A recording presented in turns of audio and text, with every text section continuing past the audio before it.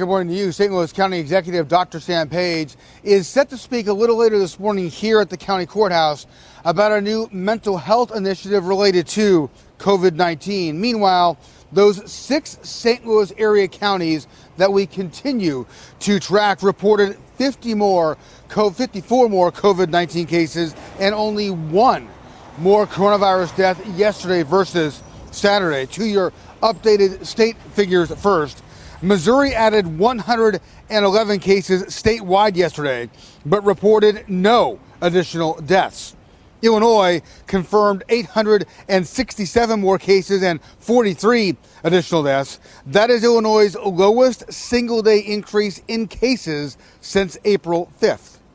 St. Louis City reporting three more cases this morning, while St. Louis County has 31 additional cases. St. Charles County confirms six more cases from yesterday.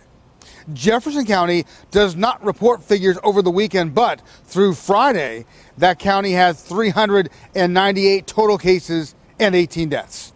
In the Metro East, St. Clair County reporting 10 more cases and one more death from yesterday, while Madison County confirming four more cases.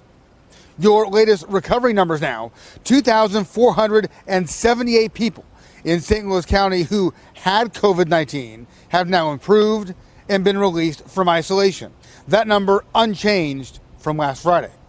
687 others from the additional local counties we are tracking who also had the virus have gotten better and been released from isolation. That is the same number since Saturday.